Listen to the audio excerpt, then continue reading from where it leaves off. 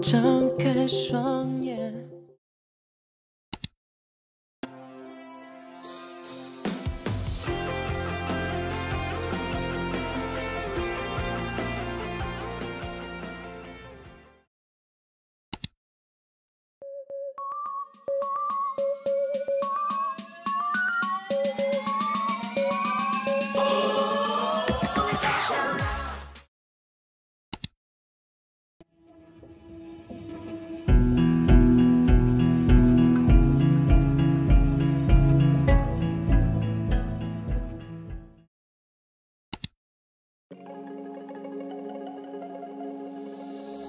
Yesterday I found an old picture. I took of